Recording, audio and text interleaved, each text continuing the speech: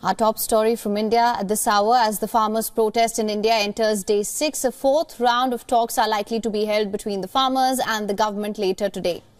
Now, ahead of the crucial meeting, the farmers have demanded an ordinance from the government to provide a legal guarantee over one of the three main demands that's the minimum support price.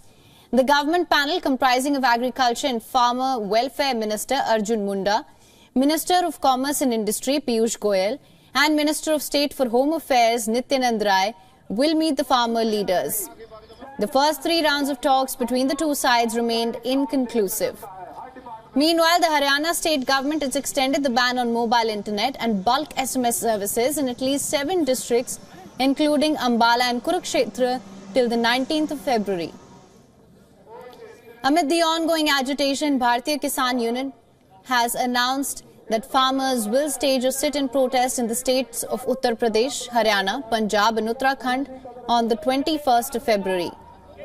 Besides the legal guarantee of MSP, the protesters have asked for pensions for farmers and farmer and farm labourers, farm debt waiver, no hike in electricity tariffs and also compensation for the families of the farmers who died during a previous agitation in 2020 to 2021.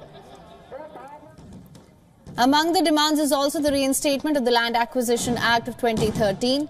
The act places more power in the hands of landowners. It states that the government or private entities will have to get the consent of the original landowners before acquiring any land.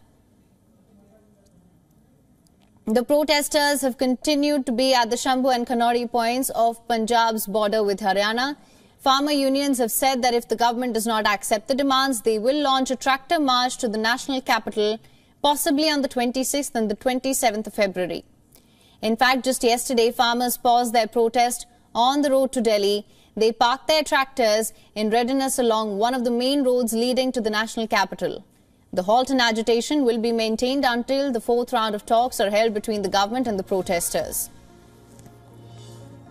For more on this, our correspondent Dharamjot Kaur has sent us this report. Listen to this.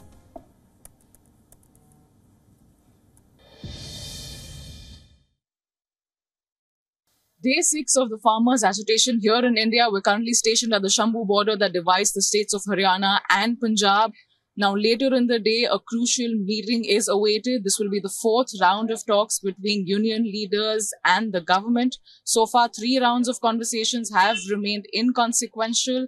Now, legal guarantee on the MSP remains a key sticking point between the two sides. So far, the conversations have been a stalemate. There has been no conclusion on that yet. Union leaders are also demanding that the government pass an ordinance on legal guarantee of the MSP. With video journalist Shekhar, this is Dharamjot Kaur for WION World is One. For latest news, download the WION app and subscribe to our YouTube channel.